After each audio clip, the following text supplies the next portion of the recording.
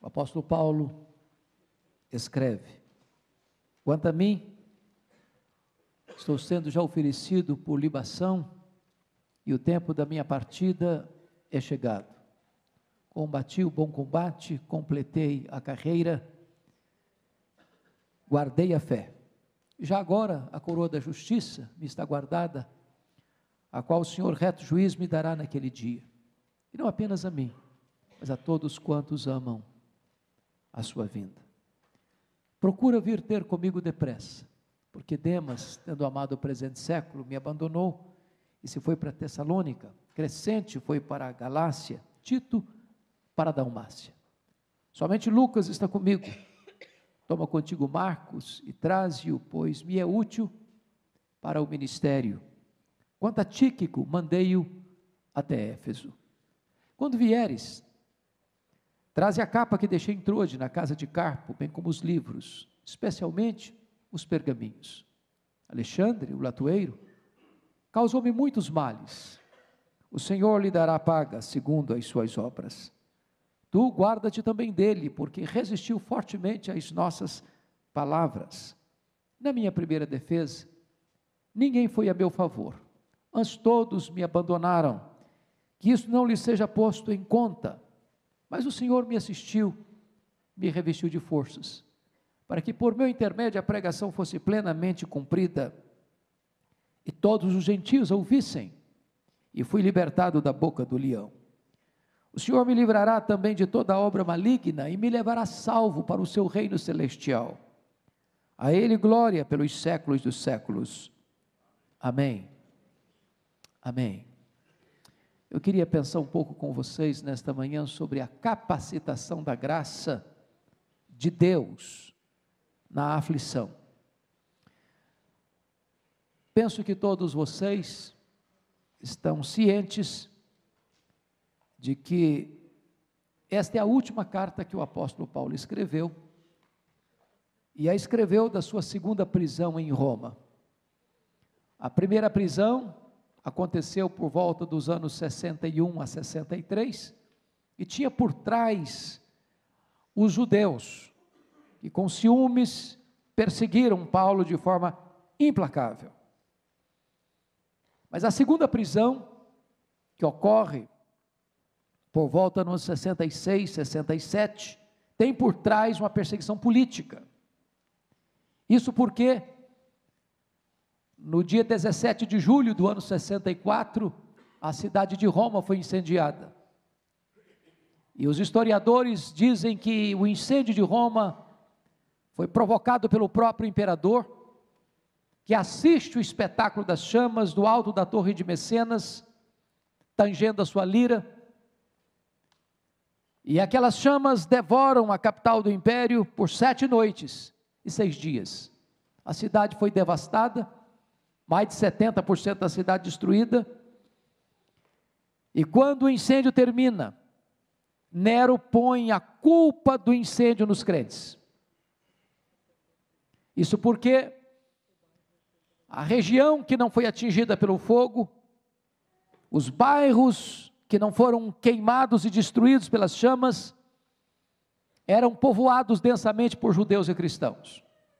Isso dá a ele um álibi para botar a culpa do incêndio de Roma nos crentes. E começa então uma caçada, uma perseguição cruel, um banho de sangue, uma chacina, uma carnificina na cidade de Roma e em outras regiões. A situação foi tão severa que os historiadores afirmam que faltou madeira para fazer cruz, tamanha quantidade de crentes que foram crucificados.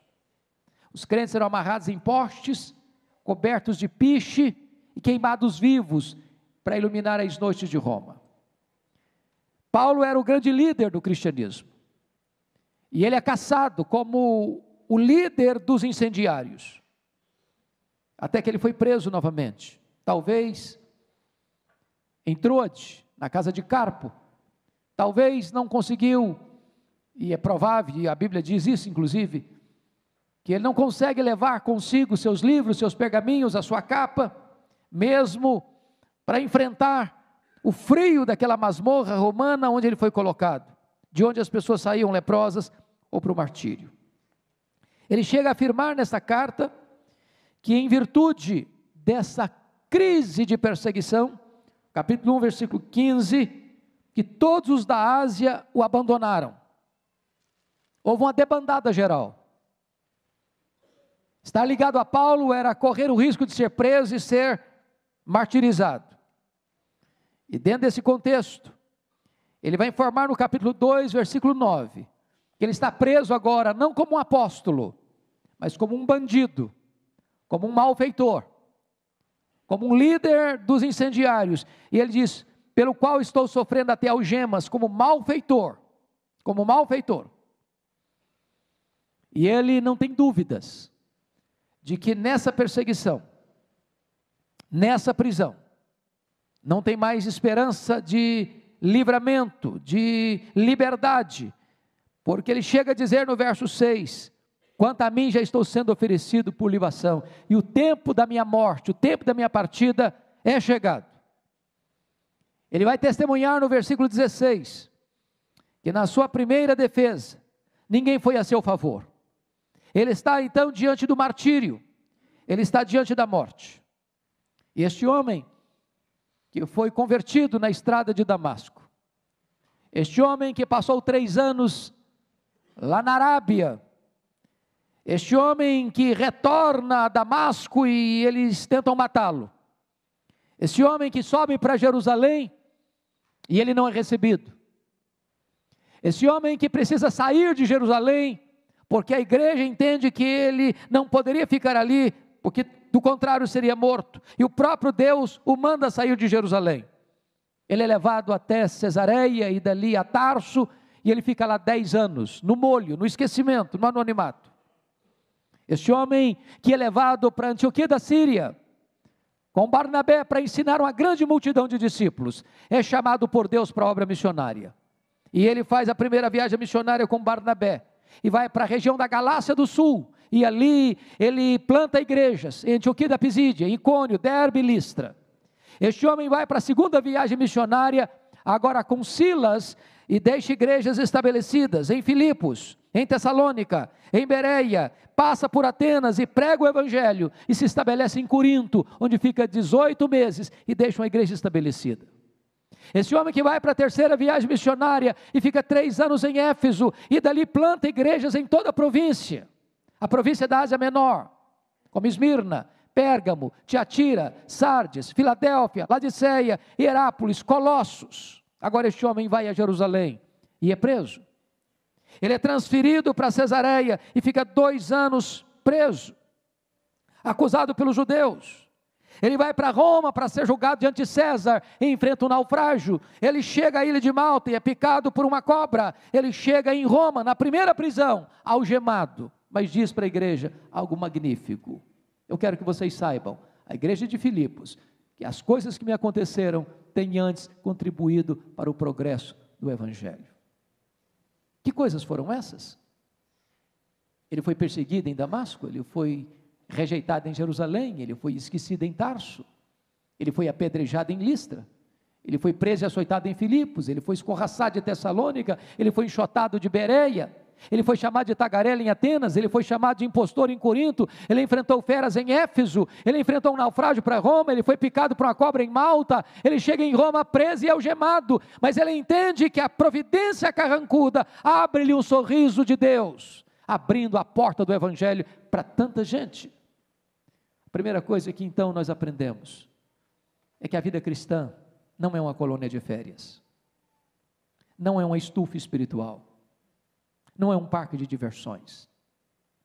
Paulo foi um homem que andou com Deus, que viveu uma vida superlativa, um homem de oração, um homem de jejum, um homem cheio do Espírito Santo, o maior teólogo da igreja, o maior plantador de igrejas da história do cristianismo, o maior missionário da igreja, enfrenta lutas, lágrimas, apedrejado, preso, açoitado, humilhado, vilipendiado.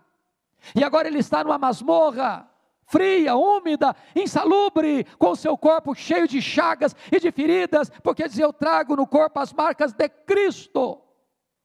Então, se você hoje está enfrentando lutas, se hoje você está enfrentando vales, se hoje você está enfrentando tribulações, se hoje você está enfrentando perseguições, se hoje você está enfrentando aflições e dificuldades, não murmure, entenda que a graça de Deus é suficiente para sustentar você nessa crise. Ele, enfermo, disse para Deus para curá-lo daquele espinho na carne, e Deus disse para ele: Não, Paulo, a minha graça te basta, o meu poder se aperfeiçoa na fraqueza. Mas em segundo lugar, irmãos, a graça de Deus nos capacita para vivermos vitoriosamente, apesar das adversidades. Se você conferir comigo os versículos 9 ao versículo 18, este homem está no final da vida. Ele diz na carta a Filemon, que escreveu da primeira prisão, que já era um velho. Ele diz na carta aos Gálatas que ele trazia no corpo as marcas de Cristo. E esse homem está enfrentando no final da vida alguns dramas. O primeiro drama que ele está vivendo aqui é o drama da solidão. Olha comigo o versículo 9, por favor. Procura vir ter comigo depressa.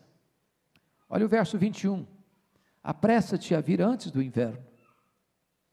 Meus irmãos, meus irmãos, não é simples viver o drama da solidão. Sobretudo para alguém que viveu a vida diante de grandes multidões, levando a esperança do Evangelho. Ele termina a vida, ele encerra a vida, ele encerra o ministério, ele, fecha as cortinas da sua história, sozinho, abandonado. As pessoas que estavam do lado dele agora têm medo de se associarem com ele. Os da Ásia o abandonaram. Ele está esquecido, jogado numa masmorra. E ele diz para o seu filho Timóteo: Meu filho, vem depressa. Eu preciso de você. Eu preciso de companhia. Eu preciso de um amigo. Eu preciso de um ombro. Eu preciso reclinar minha cabeça no seu peito. Eu não posso viver dentro dessa solidão cruel, sozinho. Mas filho, venha depressa, venha antes do inverno, porque se o inverno chegar, você não vai poder navegar. E se você não chegar depressa, quando você chegar, eu não estou mais vivo. Então venha depressa, meu filho, eu preciso de você. É muito importante você entender que a graça de Deus não nos livra de enfrentar a solidão, embora a graça de Deus nos assista na solidão. Segunda coisa que Paulo enfrenta, irmãos, é o abandono. Versículo 10. Procura, porque Demas, tendo amado o presente século, me abandonou. Não é fácil ser abandonado por um cônjuge, um namorado, um noivo, uma noiva, um amigo, um parente. Não é fácil. Não é fácil ser abandonado no final da vida. Não é fácil ser abandonado quando você mais precisa de ajuda. Não é fácil ser abandonado por aqueles em quem você investiu tanto. Paulo se sente abandonado. E o abandono dói. E o abandono é cruel. Eu quero dizer para você que a graça de Deus não nos livra do abandono, mas a graça de Deus nos assiste, mesmo quando estamos abandonados pelos homens. Terceiro, Paulo lida com o drama da traição. Olha comigo o versículo 14. Porque Alexandre o latueiro causou-me muitos males. O Senhor lhe dará paga segundo as suas obras. Os historiadores afirmam que foi este indivíduo, Alexandre o Latueiro, que delatou o apóstolo Paulo, culminando na sua segunda prisão e no seu consequente martírio.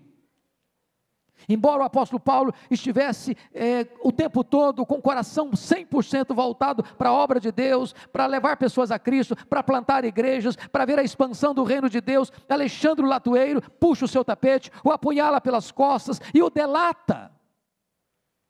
É claro que a traição dói, seja ela em que nível for. A graça de Deus não nos livra da traição, mas a graça de Deus nos assiste, mesmo quando enfrentamos traição. Quarto lugar, Paulo está preso, e ele diz no verso 13 para Timóteo assim: quando você vier, meu filho, traz a capa que deixei em Troade. Por que, que ele está dizendo isso? Porque eles estão numa masmorra. O inverno está chegando. Em Roma as temperaturas chegam abaixo de zero. E numa masmorra é tão frio lá dentro quanto lá de fora. E você sabe que gente velha sente mais frio que gente nova. Ele está dizendo, meu filho, se o inverno está chegando e eu não tenho sequer uma capa para usar, eu posso morrer de frio aqui. Então vem e traga a minha capa. Privações das mais severas, irmãos. Quantos servos de Deus, a despeito de serem consagrados, a despeito de se dedicarem à obra, fecham as cortinas da vida, enfrentando amargas privações daquilo que é essencial e básico. A graça de Deus não nos livra das privações. A graça de Deus nos assiste apesar das privações. E talvez é hora de você e eu reavaliarmos um pouco a nossa vida para pararmos de murmurar, de reclamar da vida. Porque você às vezes, e com certeza tem, casa para morar, roupa para vestir, cama para dormir, comida sobre a sua mesa, e tantas vezes você vive amargo, você vive murmurando, você vive reclamando da vida, e o maior apóstolo do cristianismo, e o maior evangelista da igreja, e o maior missionário da história do cristianismo, e o maior plantador de igrejas da história do cristianismo, fecha as cortinas da sua vida sem ter sequer uma capa velha e surrada para usar na chegada do inverno. Mas em último lugar, irmãos, Paulo lida com outro drama, o drama da ingratidão. Confira aí o versículo 16. Porque na minha primeira defesa ninguém foi a meu favor. Antes todos me abandonaram. Eu fico imaginando que na cabeça de Paulo, quando ele vai para essa audiência, para sua defesa, ele deve ter pensado assim: vai ter uma multidão de crente lá. Todo mundo sabe que eu não sou um bandido. Todo mundo sabe que eu não sou um malfeitor. Todo mundo sabe que as acusações que pesam sobre mim, sobre mim não são verdadeiras. Que eu sou inocente. Que eu não sou um criminoso que eu não estou aqui em Roma fazendo ameaça de destruição da cidade, que o meu trabalho é outro, que o meu trabalho é levar esperança, que o meu trabalho é levar salvação, que o meu trabalho é plantar no coração das pessoas a esperança da vida eterna, e vai ter lá uma multidão de crentes para me defender e dizer que eu não sou culpado da acusação que recebo. Quando eu chego naquela audiência, não tem sequer uma pessoa. Uma pessoa. Talvez não tem dor mais profunda do que a dor da ingratidão. De você investir e investir e investir, na hora que você precisa de um ombro amigo, de uma palavra amiga, de um companheiro na jornada, essa pessoa falha com você. E Paulo fica exatamente desamparado do ponto de vista humano naquela audiência. Ninguém foi a meu favor. A graça de Deus não nos livra da ingratidão dos homens, mas a graça de Deus nos assiste, mesmo quando as pessoas são ingratas conosco. Mas notem, em terceiro lugar, irmãos, a graça de Deus nos capacita a ter os valores de vida, os mais excelentes, diante das grandes crises da vida. Confira comigo o que Paulo vai dizer no versículo 7. Ele olha para as lentes do retrovisor, faz uma avaliação do seu passado e diz assim: combati o bom combate, completei a carreira, guardei a fé. Todos os verbos estão no passado aí. E quando ele faz um resumo, quando ele faz uma análise, quando ele faz uma investigação de como foi sua trajetória até aqui, ele diz o seguinte: a minha vida não foi de amenidades, foi um combate. Ele diz o seguinte: eu não parei a obra no meio do caminho, eu completei a carreira. Eu não desisti, eu não me desviei para a direita ou para a esquerda, eu não dei marcha ré. Na verdade, ele chegou a dizer para os presbíteros de Éfeso, lá em Atos 20, 24: Em nada considero a vida preciosa para mim mesmo, com quanto que eu complete a minha carreira e o ministério que eu recebi do Senhor Jesus para testemunhar o Evangelho da graça de Deus. Este homem, mais do que isso, ele diz: Eu guardei a fé. Eu não transigi com os absolutos de Deus. Eu não vendi a minha consciência. Eu não prostituí o meu ministério. Eu não coloquei no balcão do comércio para quem dar mais levasse a minha fidelidade a Cristo. Eu guardei a fé. E ele está dizendo isso, irmãos, no momento em que ele está na antessala do martírio, com o pé na sepultura, com a cabeça debaixo da espada de Roma. Notem comigo, que ele está à beira da morte, com certeza de que a morte está chegando. E é isso que ele vai dizer no versículo 6: Quanto a mim já estou sendo oferecido por libação e o tempo da minha partida é chegado. Duas coisas me encantam aqui. A primeira coisa, ele está dizendo o seguinte: não é Roma que vai me matar, é eu que vou me entregar. E eu não vou me entregar para César, e eu não vou me entregar para Roma, eu vou me entregar para Deus. A minha morte vai ser uma libação para Deus. E tem mais, eu não vou morrer, eu vou partir.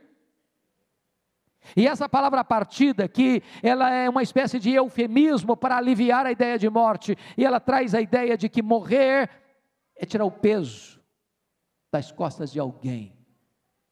Um cristão não tem medo da morte porque morrer é descansar das suas fadigas. O texto aqui traz a ideia de você desatar um bote para atravessar para o outro lado do rio, porque para um crente morrer é fazer a última viagem rumo à pátria celestial. O texto traz a ideia de levantar as estacas, levantar acampamento e ir para sua casa permanente, porque para um crente morrer é mudar de endereço, é ir para a casa do Pai, é ir para a cidade santa, é ir para o céu, é ir para a glória eterna. Ele não tem medo de morrer, porque sabe em quem tem crido e sabe para onde está indo. Esse homem tem uma avaliação plena do amanhã, porque chega no verso 8, ele diz assim: Já agora a coroa da justiça me está guardada a qual o Senhor reto juiz me dará naquele dia. Notem isso, irmãos. A sentença que pesava sobre ele vinha de Nero, culpado. Não é nesse tribunal que eu vou ser verdadeiramente julgado. Tribunal da terra me considera culpado. O tribunal da terra me sentencia como malfeitor. O tribunal da terra lança sobre mim uma acusação pesada e uma sentença falsa. Mas daqui a pouco eu vou estar na presença do reto juiz e lá minha sentença sim vai ser lavrada. Lá eu vou ser reconhecido como justo, como justificado. E lá a recompensa me será dada. A coroa da justiça eu terei nas minhas mãos. Ele não tem medo do amanhã porque não caminha para o martírio, ele caminha para a recompensa eterna. Mas, amados irmãos, e eu quero concluir, dizendo para vocês que a graça de Deus também nos capacita a recebermos a assistência do céu na hora da morte. Veja comigo, por favor, os versos 17 e 18. E eu me impressiono com isto, porque o verso 17 começa com uma adversativa. Mas, entretanto, diante do abandono das pessoas,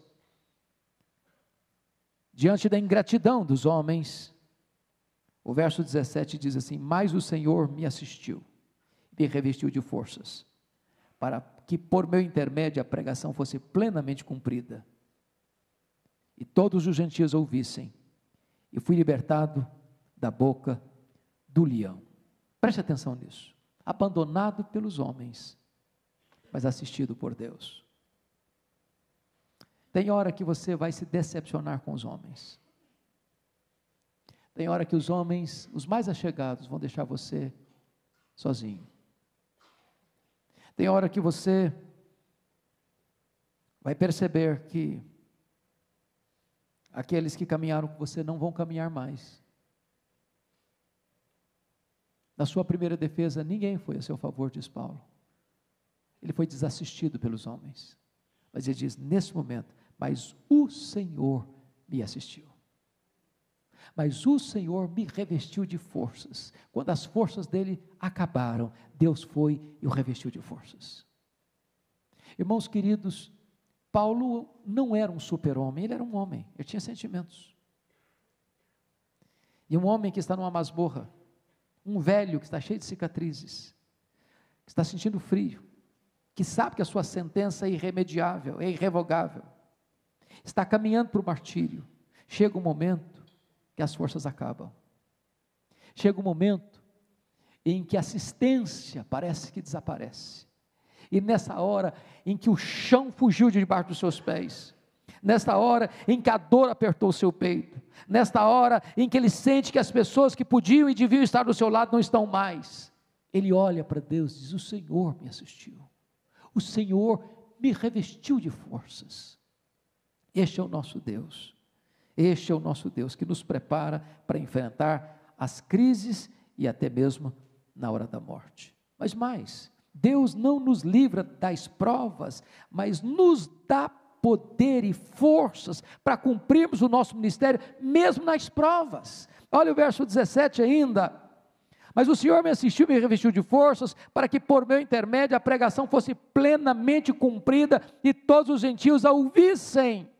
Notem, irmãos, que esse homem está na beira da morte, ele está no corredor da morte, e o que preocupa esse homem não é se vai viver ou morrer, o que preocupa este homem não é se ele vai ser solto ou ficar preso, o que preocupa este homem é que a palavra de Deus alcance o seu propósito, chegue mais longe, vá a horizontes mais largos e todos os gentios possam ouvi-la. Ele está preso, diz ele, mas a palavra de Deus não está algemada. Como isso é precioso, irmãos. O que é importante não é o pregador, o que é importante é a pregação.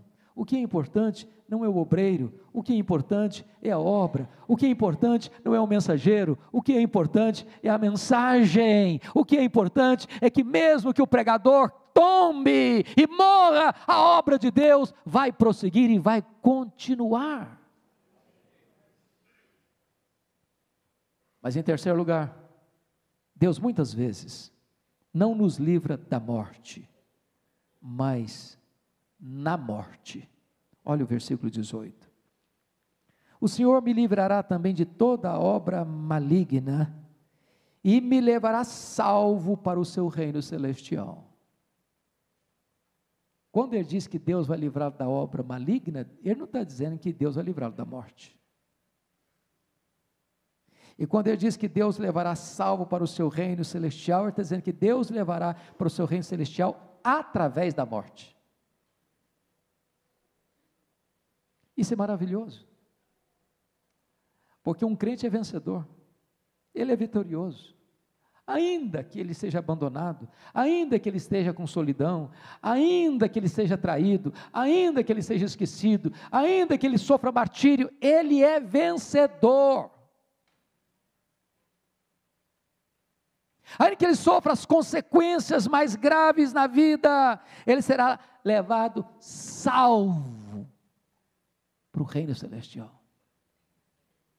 A morte para nós não é uma derrota, não é um fracasso, não é o fim da linha, é lucro, é bem-aventurança, é estar com Cristo, é incomparavelmente melhor.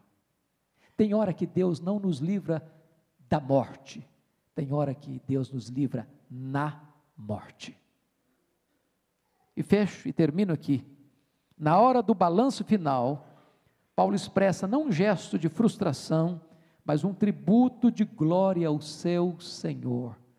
Quando ele diz no verso 18: A Ele, glória pelos séculos dos séculos. Porque preste atenção, irmãos, este homem poderia, no final da vida, lamentar. Lamentar. Dei tanto, recebi tão pouco, investi tanto,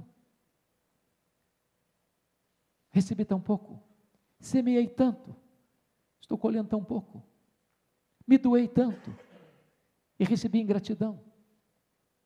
Ele podia ter nos seus lábios palavras de murmuração, de reclamação, de amargura, de frustração, de decepção. Mas ele fecha as cortinas da sua vida, erguendo os olhos para cima e dizendo: A Ele, a Jesus, glória pelos séculos dos séculos. A graça de Deus nos assiste. A graça de Deus não nos abandona. A graça de Deus nos é suficiente. A graça de Deus nos basta na vida e na morte e por toda a eternidade. Curva sua fronte, por favor.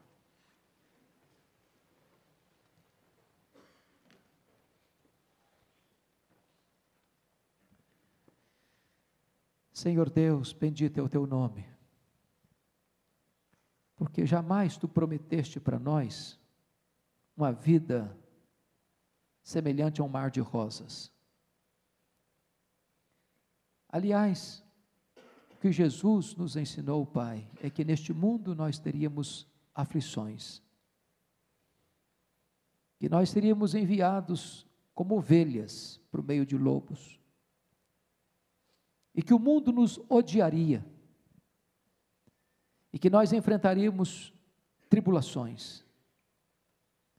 Mas também a tua palavra nos ensina que Jesus nos prometeu, e eis que estou convosco todos os dias, até a consumação dos séculos. Também a tua palavra nos ensina que a tua graça nos basta, porque o teu poder se aperfeiçoa na nossa fraqueza. E nesta manhã, Deus, nós queremos te render graças te render graças, porque as, a despeito das lutas que vêm sobre nós, jamais nos falta a tua graça, a tua presença, o teu consolo, o teu poder, a tua paz, a alegria da salvação, a doce companhia e presença do teu Santo Espírito. Rendemos-te graças, Senhor, porque aqui, ainda que enfrentemos nesta vida solidão, tu estás conosco. Ainda que os homens nos abandonem, tu estás conosco. Ainda que enfrentemos traição, tu estás conosco. Ainda que os homens demonstrem gratidão, tu estás conosco. Ainda que falte assistência da terra, não nos faltará a tua assistência. E o que nós te pedimos, Senhor, é que tu nos fortaleças nesta manhã que nós entendamos, Deus, que não estamos aqui para nos protegermos a nós mesmos, para buscarmos qualidade de vida apenas para nós mesmos, nós estamos aqui, Deus, sobretudo para levarmos a tua palavra, para que esta palavra se espalhe e chegue aos confins da terra e todos os gentios possam ouvi-la. Então, Senhor, se chegar a nossa hora, dá-nos a serenidade de Paulo, para dizer que o Senhor nos assistiu, para dizer que o Senhor nos levará salvo para o teu reino celestial.